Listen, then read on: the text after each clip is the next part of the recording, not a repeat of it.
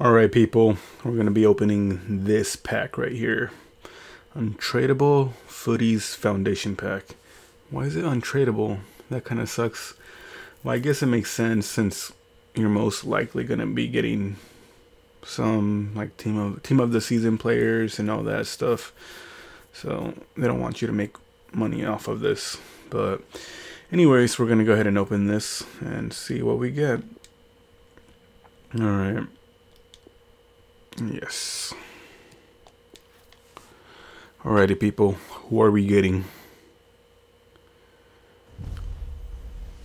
Team of the season. Right away. Goalkeeper. I have him. The good thing is, I ended up buying him, so I can just sell him and just keep keep this one, I guess. The only thing is, he's not worth like what I paid for him when I first bought him.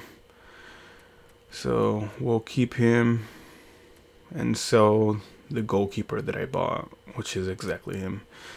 Um, and Madison. Hmm. This is a pretty bad pack, not gonna lie. Like, only.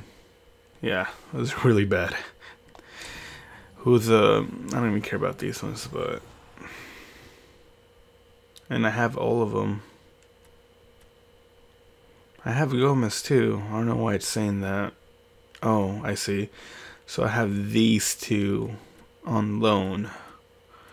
I don't have him. But I have all three players, so Man, it sucks that you can't sell some of these players. Man, well, I think I took a big L for this pack. Um, I think the next pack we're gonna try and get is a 90, 90 pack and up or something. 90, no, it's a, I don't know, something like that, you guys. Can't really think right now. But yeah, you guys, let me know how you guys felt about this video and if you guys enjoyed, give it a like and new video tomorrow. Thank you guys.